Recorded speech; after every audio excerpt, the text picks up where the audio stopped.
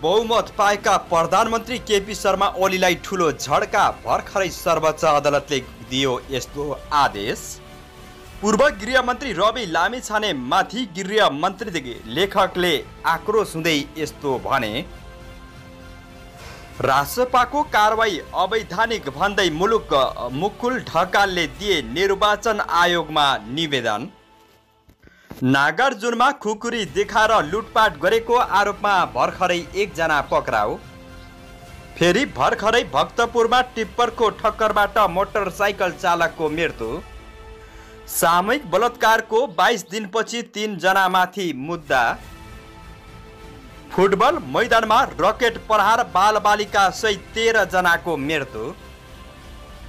गुडिरहेको ट्रकमा एक्कासी आगो लागेपछि के कति क्षति भयो त यसबारे सब जानकारी। राइड सेयरिङको विरोधमा गण्डकीमा सार्वजनिक यातायात ठप्प। भर्खरै आरजु राणालाई आफ्नै मन्त्रालयमा आक्रमण गरे काङ्ग्रेसकै कार्यकर्ताले पुरै काङ्ग्रेसमा भयो ठुलो लफडा। अरबौँ घोटाला गरेको आरोपमा पाँचजना नेताको नाम सिआइबीले सार्वजनिक गर्यो। को को परे त यसबारे सब जानकारी। गोर्खामा पहिरोमा पुरिएर भर्खरै एकै परिवारका तिन सहित पाँचजना बेपत्ता। त्रिशुलीमा हराएका बसको खोजी रोक्ने तयारी। थप सङ्कटको कारण बन्न सक्छ काङ्ग्रेस एमाले गठजोड। प्रहरीले रोक्दा रोक्दै महाकालीमा हाम फालिन् एक किशोरी। फेरि भर्खरै ताप्लेजुङ केन्द्र बिन्दु भएर गयो ठुलो भूकम्प। मानिसहरूको घरदेखि बाहिर भागाभाग के कति क्षति भयो त यसबारे सब जानकारी। भारतबाट आएको उद्धार टोलीलाई विदाई गर्ने तयारी।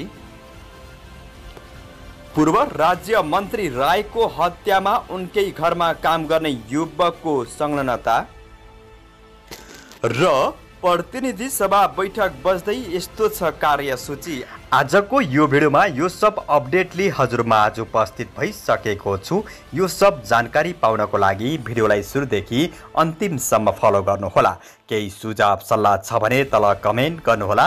भिडियोलाई सक्दो सेयर गरी सबै नेपालीसम्म पुर्याउन मद्दत पनि गर्नुहोला। हजुरको एउटा सेयरले गर्दाखेरि धेरै नेपालीलाई केही न केही जानकारी मिल्नेछ। मैले आफूले जानेका बुझेका कुराहरू हजुरहरूलाई बताउने गर्दछु। नयाँ आउनुभएको छ। अझै पनि हाम्रो इन्फो खबर नेपाल युट्युब च्यानलसँग जोडिनु भएको छैन भने सब्सक्राइब र साथमा रहेको घन्टीलाई दबाई हामीसँगै जोडिनुहोला। अब लागौँ आजको विषयवस्तुतिर। दर्शकबिन रौतहटको गजुरा नगरपालिकामा एक दलित बालिकामाथि सामूहिक बलात्कार भएको घटनामा लामो समयपछि प्रहरीकोमा मुद्दा दर्ता भएको छ। केही जनप्रतिनिधिले लेनदेनको भरमा मुद्दा चलाउने चलखेल गरेको कारण घटनाको बाइस दिनपछि मात्र मुद्दा दर्ता भएको हो। गुजरा नगरपालिकाकी उपमेयर रत्ना लामाको पहल र जिल्ला प्रहरी प्रमुख एसपी दिलीप घिमिरेको निर्देशनमा प्रहरी विरुद्ध इलाका प्रहरी कार्यालय गरुडामा गत सात गते मुद्दा दर्ता भएको हो। पीडित र पीडक गुजराको भए पनि घटनास्थल कटहरिया भएकाले उक्त मुद्दा गरुडामा दर्ता भएको प्रहरीले जनाएको छ। आरोपीहरू गुजरा चार कन कनकपुर गाउँका वर्ष बिसका शेख इस्माम वर्ष एक्काइसका शेख मुस्ताङ र वर्ष पच्चिसको दिपेन्द्र कुमार दास विरुद्ध जबरजस्ती करणी लगायतको मुद्दा दर्ता भएको जिल्ला प्रहरी प्रवक्ता डिएसपी एलिजा गिरीले जानकारी दिनुभयो। पीडित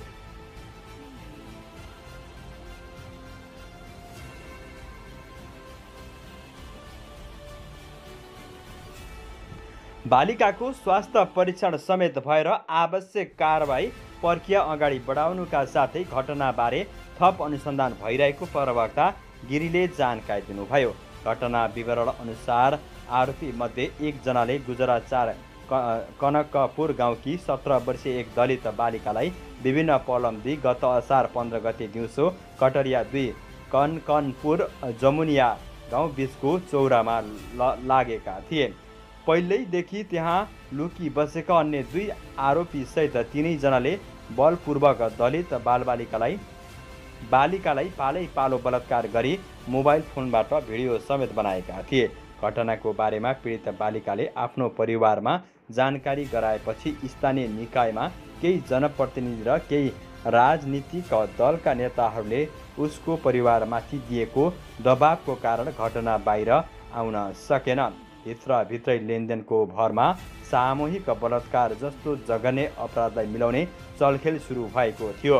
पीडित परिवारमाथि दिएको विभिन्न थाक धाक धम्कीको कारण उनीहरू प्रहरी सामु पनि जान सकेका थिएन। घटनाको बिस दिनपछि गुजरा नगरपालिकाकी उपमेयर रत्न लामा घटनाबारे जानकारी पाएर पीडितको घरमा पुगेर उनीहरूलाई हौसला दिँदै घटनाबारे एसपी घिमिरेलाई जानकारी गराएकी थिइन्। त्यस्तै दर्शकबिन काठमाडौँको नागार्जुन नगरपालिका साथ स्थित बिन्दवासिनी मन्दिर नजिक चार महिला र एकजना पुरुष लुटिएका छन्। लुटमा संलग्न आरोपमा मकवानपुर घर भएका बाहन्न वर्षीय धनबहादुर स्याङताङलाई पक्राउ गरिएको जिल्ला प्रहरी परिषद काठमाडौँका एसपी नवराज अधिकारीले जानकारी दिनुभयो। गाडीमा सवार उनीहरूलाई स्याङतानको समूहले खुकुरी देखाएर लुटेका हुन्। आरोपीको साथबाट प्रहरीले दुई थान खुकुरी बरामद गरेको छ। प्रहरी नायक निरीक्षक एम बहादुर थापा नेतृत्वको टोलीले लुटमा संलग्न आरोपीलाई टारबाट पक्राउ गरेका हुन्। आरोपीहरूले सात तोला चौसठी लाख सुन र तेह्र हजार नगद लुटेको एसपी अधिकारीले बताउनुभयो। लुटपाटमा संलग्न अरू आरोपीहरू फरार रहेका छन्। त्यस्तै दर्शकबिन राष्ट्रिय स्वतन्त्र पार्टीको महामन्त्री प्रवक्ता एन्ड केन्द्रीय सदस्य पदबाट मुक्त भएका मुकुल ढकालले आफूमाथि भएको कारवाही अवैधानिक भन्दै निर्वाचन आयोगमा निवेदन दिएका छन्। ढकाललाई पार्टी केन्द्रीय समितिको बैठकले पच्चिस असारमा पदबाट हटाएको थियो। उक्त निर्णय वैधानिक नभएको दावी गर्दै ढकालले आइतबार निर्वाचन आयोगमा निवेदन दिएका छन्। पदीय भूमिकाबाट मुक्त गरेको पार्टीले आफूलाई औपचारिक पत्र हालसम्म नदिएको निवेदनमा लेखेका छन्। राजनीतिक दल सम्बन्धी ऐनको दफा अठार दुई राजसभाको विधानको व्यवस्था संविधानको धारा दुई सय उन्सत्तरी चार राजनीतिक दल सम्बन्धी ऐन अनुसार आफूमाथि कारवाही अवैधानिक भएको ढकालले दावी गरेका छन्। पार्टीले ढकाललाई कारवाहीमा चित्त नबुझे पैँतिस दिनभित्र पुनरावलोकन निवेदन दिन सक्ने निर्णय लिएको छ। कारवाही विधिसङ्गत नभएकाले आफू पदमा बहाल रहेको ढिकाले ढकालले जिकिर गर्नुभएको छ। त्यस्तै दर्शकबिन पूर्व पश्चिम राजमार्ग अन्तर्गत दाङको लमैमा गुडिरहेको ट्रकमा आग लागि भएको छ। महेन्द्रनगरबाट दाङको लमै आउँदै गरेको सुप प्र जिरो एक डबल जिरो एक घ तेत्तिस सडतिस नम्बरको गुडिरहेको ट्रकमा आफै आग लागि भई जलेर नष्ट भएको प्रहरीले जनाएको छ। जिल्ला प्रहरी प्रमुख एसपी रामबहादुर केसीले लमै नगरपालिका नौ चाउखोला नजिकैको जङ्गल एरिङ सट भएर आगो लागेको भएको बताएका छन् यस एसपी केसीले ट्रकमा चालक चाहिँ तिनजना सवार रहेकोमा आगो निभाउन प्रयास गर्दा चालक कञ्चनपुर जिल्लाको कृष्णनगर नगरपालिका दुईका अडतिस वर्षीय रमेश दत्त जोशी सामान्य घाइते भएको बताएका छन् खाली ट्रक सिमेन्ट लिनको लागि लमै आउँदै थियो। घटनामा चालकको हातमा सामान्य जलन भएको छ।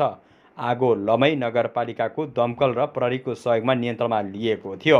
चालकलाई प्रहरीले नियन्त्रणमा लिएर थप अनुसन्धान सुरु गरेको प्रहरीले बताएको छ।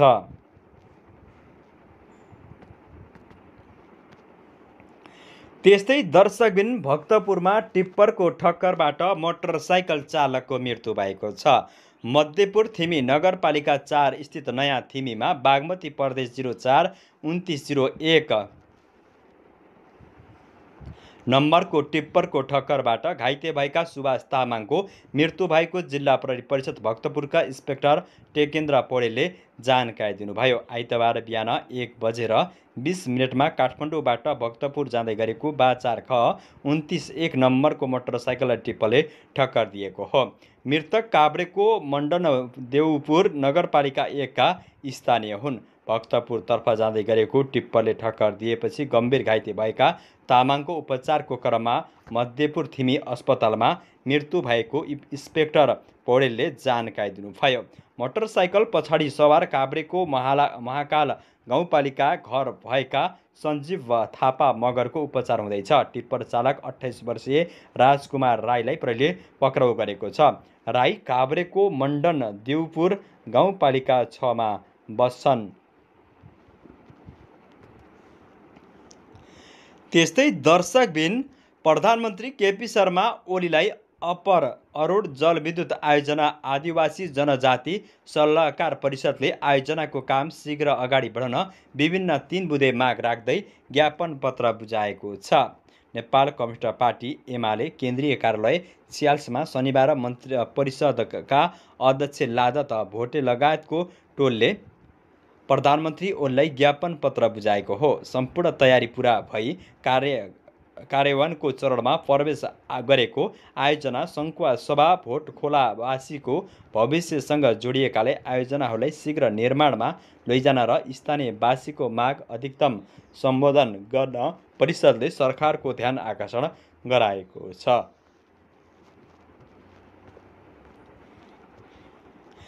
त्यस्तै दर्शकबिन यातायात व्यवसायीहरूको राइड सेयरिङको विरोधमा गण्डकी प्रदेशमा सार्वजनिक यातायातका साधन ठप्प पारेका छन्। गण्डकी प्रदेश सरकारले रातो नम्बर प्लेटका सवारी साधनले पनि यात्रु ओसार्न पाउने कार्यविधि ल्याउन लागेको विरोधमा यातायात व्यवसायीहरूले आज देशभर सार्वजनिक सवारी साधन ठप्प पारेका हुन्। यसअघि व्यवसायीहरूले कार्यविधि नल्याउन गत बिहिबार अडतालिस घन्टे अल्टिमेटम दिएका थिए। त्यसको भोलिपल्ट उनीहरूले भौतिक पूर्वाधार तथा यातायात मन्त्री राजीव गुरुङ दीपक मनाङ्गेलाई भेटेर ध्यान आकर्षण समेत गराएका छन्।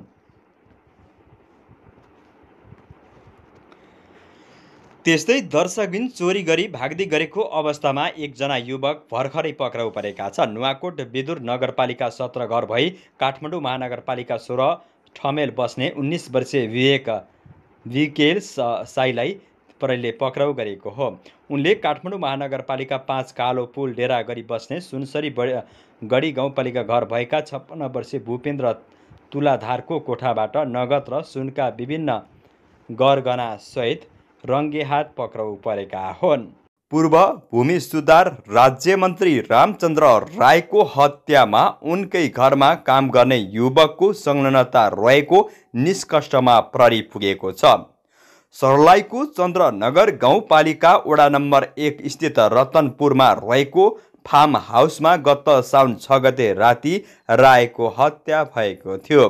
टाउकोमा धारिलो हतियार प्रहार गरी उनको हत्या भएको थियो।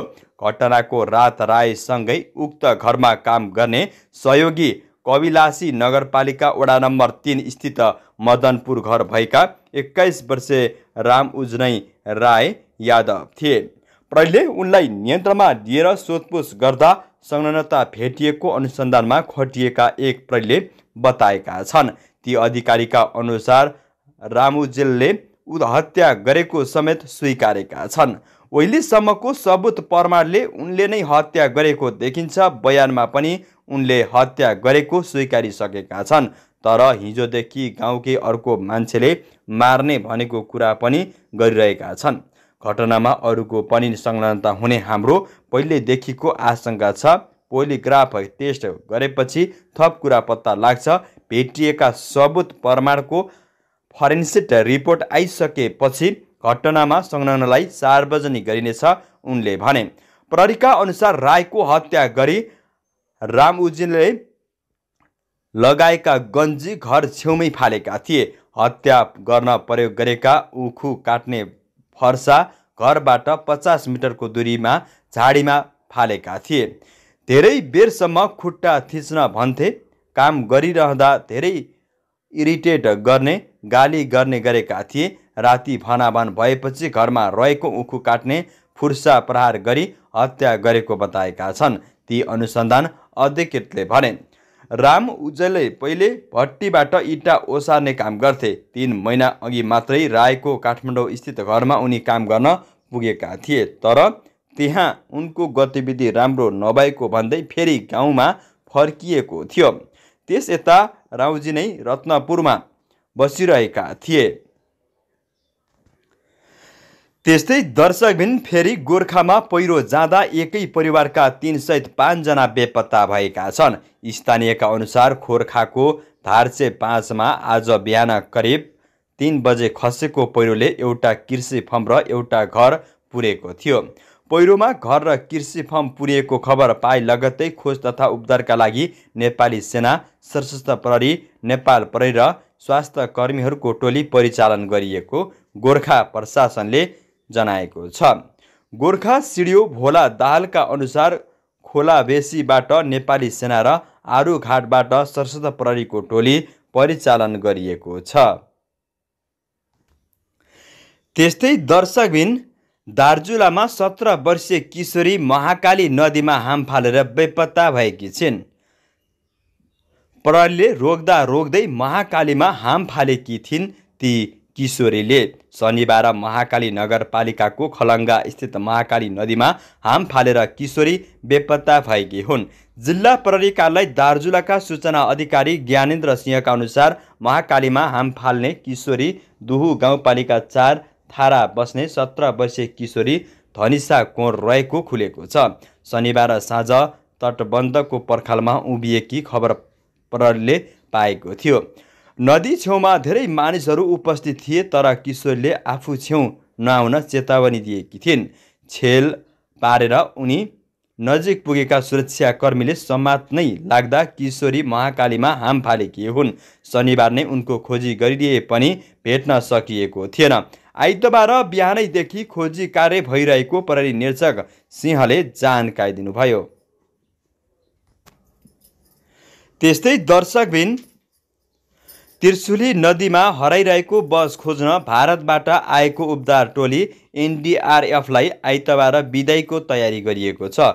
प्रमुख जिल्ला अधिकारी इन्द्रदेव यादवका अनुसार आइतबार जिल्ला सुरक्षा समितिको बैठक बस्दैछ। आज जिल्ला सुरक्षा समितिको बैठक बसेर अहिलेसम्म भए गरेका कामहरूको समीक्षा गर्नेछौँ यादवले भने।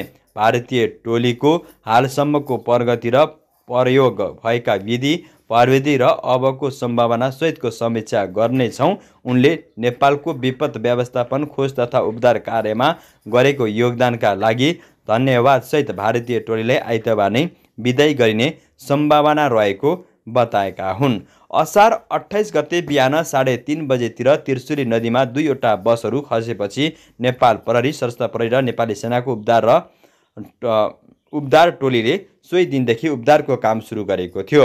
उनीहरूले नेपालमा उपलब्ध सबै प्रविधिको प्रयोग गरेर खोज गरिरहेका थिए। सरकारले असार एकतिस गते खोज तथा उद्धारका लागि भारतको सहयोग मागेपछि भारत सरकारले एनडिआरएफको बाह्र सदस्य टोली पठाएको थियो।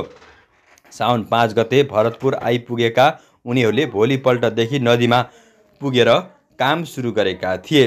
शनिबारसम्म पनि बसबारे केही पत्ता नलागेपछि उनीहरूलाई विदाय गर्न लागि हो। बसमा पैँसठीजना यात्रु रहेको अनुमान गरिएकोमा अहिलेसम्म उन्नाइसजनाको स भेटिएको पच्चिसजनाको स भेटिएको छ। त्यस्तै दर्शकबिन नेपालको राजनीति जहिले अस्थिर र अनिश्चित छ। कुन समय दलहरूले रात बिरात के सहमति गर्छन् र त्यसको भारी के बोक्नुपर्छ भन्ने कुरा पार्टीका नेता कार्यकर्ता त परको कुरा भयो। पदाधिकारीका मध्यम तहका सांसदहरूलाई समेत थाहा पत्तो हुँदैन। हिजोसम्म जसलाई गाली गरेर युट्युबमा हिट भयो भोलिपल्टै त्यसलाई सत्ता सुम्केको बधाई दिन पुग्नुपर्छ। केही हप्ता अगाडि काङ्ग्रेसका ब्लोकर महामन्त्री मानिने विश्व प्रकाश शर्माले सरकारले प्रश्न गर्ने समयमा राष्ट्रिय स्वतन्त्र पार्टी राजसपा र नेकपा एमाले बिचको गठबन्धनको आलोचना गर्दै ती दुई दल मिलेर एक अर्काको गलत काममा सहायता गरेको भन्दै सहकारी बन्धु गठबन्धन नाम दिएका थिए। यो बोलेको क्लिप अहिले पनि डिजिटल मिडियामा रेकर्ड रहेको छ तर अरूलाई सहकारी बन्धु घोषणा गरेको हप्ता दिन नपुग्दै उनकै दलले गिरिबन्धुमा प्रश्न उठाएको दल र त्यस सम्बन्ध केपी शर्मा ओलीलाई विश्वासको मत दिएर सत्ता साझेदार गर्नुपर्ने ठाउँमा पुगेको हो। केही दिन अगाडि अर्को महामन्त्री गगन थापाले आफ्नो पार्टी दुई हजार चौरासीसम्म प्रतिपक्षमा बस्ने भन्ने सार्वजनिक उद्घोष गरेका थिए। भावी सभापतिको दावेदार रहेका थापाले चार पाँच दिनपछि आफ्नो पार्टी प्रतिपक्षबाट सिधै सत्ता पक्षमा जान्छ भन्ने जान्दा जान्दै जनतालाई गलत कुरा सप्रेषण गरे या उनको पार्टीले सत्तामा आउन गरेको पहलबारे उनी जानकार थिएनन्। यो उनलाई नै थाहा हुने कुरा भयो। गगन थापाले संसदमा रासोपालाई स्वार्थको द्वन्द्वको विषयमा प्रश्न उठाएका थिए। अब आफ्नै दलका सांसदलाई स्वार्थको द्वन्द्व स्पष्टै देखिने गरी ऊर्जा मन्त्रीको जिम्मेवारी दिएका छन्। अब उनलाई अन्य दलहरूले प्रश्न उठाउँदा त्यसको रक्षा गर्नुपर्ने यसले नेपाली राजनीतिको अस्थिरता र निराशा झक झस्काउँछ। हिजो सहकारी ठगी गर्ने र गिरिबन्धु बिचको गठबन्धन भन्नेहरू आज सँगै हुँदा विश्व प्रकाश शर्माको मुखबाट आफ्नै गृहमन्त्रीलाई प्रश्न सोध्ने हैसियत हुन्छ कि उनी हुन्छ कि उनी चुपचाप बसन्? विश्लेषण पछिल्लो समय नेपाली काङ्ग्रेस र नेकपा एमाले बिचको गठबन्धनले जनमानसमा अनेक प्रश्नहरू उठेको छ। दुईभित्र इतिहास र वैचारिक धरातल भएका पार्टीहरू अहिले पनि विद्या विद्यालय व्यवस्थापन समितिदेखि वडा जिल्ला वा प्रदेशमा जुन मुख्य प्रतिस्पर्धी दलहरू छन् अचानक तिनीहरूको मिलन हुँदा अचम्म लाग्नु स्वाभाविक हो। यस लेखामा हामी यो गठबन्धनले लोकतन्त्र प्रतिपक्षको भूमिका र नीति निर्माणका कस्तो प्रभाव पार्न सक्छ भन्ने विषयमा चर्चा गर्नेछौँ।